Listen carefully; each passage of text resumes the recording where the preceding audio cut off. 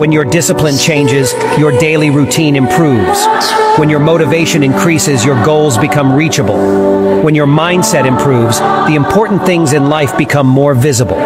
Do all of these things and your character will improve 1% each day.